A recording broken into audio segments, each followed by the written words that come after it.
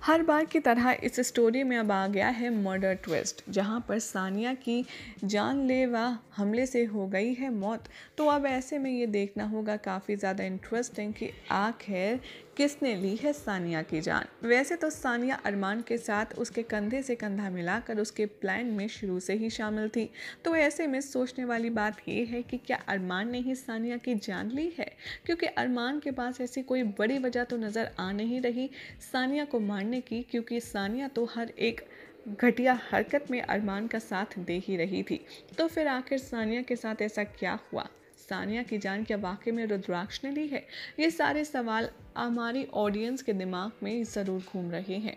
लेकिन अगर story line की बात की जाए तो जिस तरीके से अरमान और रुद्राक्ष के बीच झगड़ा हुआ जिस तरीके से सानिया को छोड़कर प्रशा की बाहों में रहने के अरमान की शिद्दत वाली मोहब्बत सामने निकल कर आ रही है, उससे तो यही लग रहा है कि अरमान ने सोची, समझी, साजिश बनाई है ताकि सानिया के मर्डर का इल्ज़ाम रुद्राक्ष पर आ जाए और वो हमेशा हमेशा के लिए प्रिशा से दूर हो जाए, क्योंकि मर्डर के इल्ज़ाम में रुद्राक्ष को हो जाएगी जेल।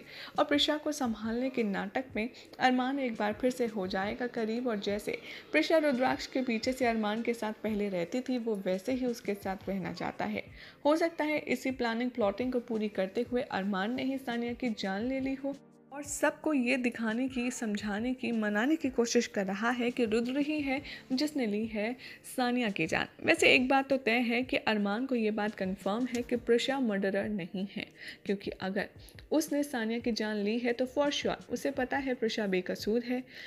सेकेंडली अगर अरमान ने सानिया की जान नहीं भी ली है तो प्रशा ऐसा कुछ कर नहीं सकती क्योंकि उसके पास ना मोटिव है और ना ही वो अरमान को हासिल करना चाहती है कि वो सानिया को मार करके अरमान को अपने पास ले ले।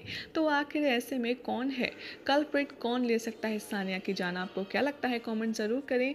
साथ ही इस वीडियो को लाइक, शेयर करके चैनल को सब्सक्राइब करना ना भूलें।